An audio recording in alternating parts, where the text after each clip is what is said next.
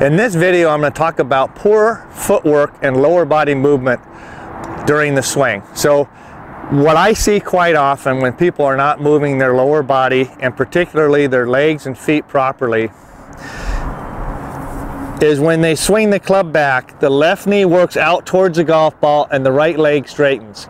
Now when that occurs, what's happening is the weight doesn't load into the right foot, the right glute does not get loaded, and what often happens is, is that when the left knee moves out, the, the head actually drops. So then the head has to lift through impact, and that makes it extremely difficult to make good contact with the golf ball. In terms of poor lower body movement on the downswing,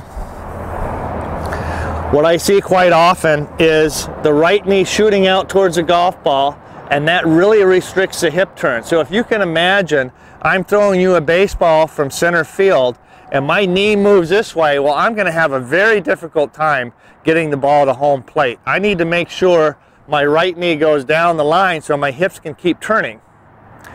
That's one instance of, of poor downswing footwork. The other instance is when the, the club is swung down, the heel actually moves backwards. When that occurs, the weight cannot transfer to the front foot. So what we want to feel is that you're pronating in instead of moving out.